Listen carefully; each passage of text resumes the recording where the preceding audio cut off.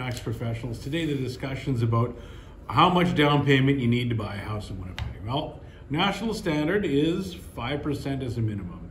Um, a traditional mortgage starts at 20%, but a high ratio mortgage, uh, you need a minimum, bare minimum of 5% stake in that, in that household to purchase a home in Winnipeg.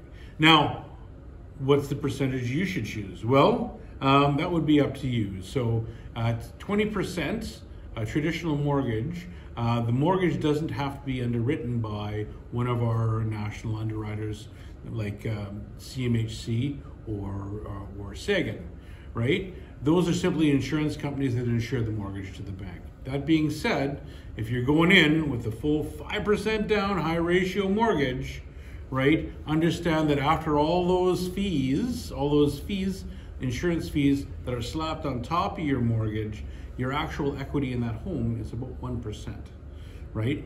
So if you sell that house in, in, in less than five years, um, you're probably, you're probably gonna lose a bit of money on the place. However, if the intention is to stay there five plus years, maybe moving in seven to 10, very much likely a break even for you, right? Unless, you know, we, we, we look at something like um, appreciation, right? That factors in no appreciation. Um, if you pay more for the place, like I say, you might have a slightly higher interest rate because the bank now takes that risk on themselves and Canadian banks, oh, they're so risk averse, right? Um, however, uh, you might not get the, the, the, the best mortgage rate being in that traditional mortgage bracket, but it won't be, you won't be paying on top of those, uh, paying interest on top of those CMHC fees.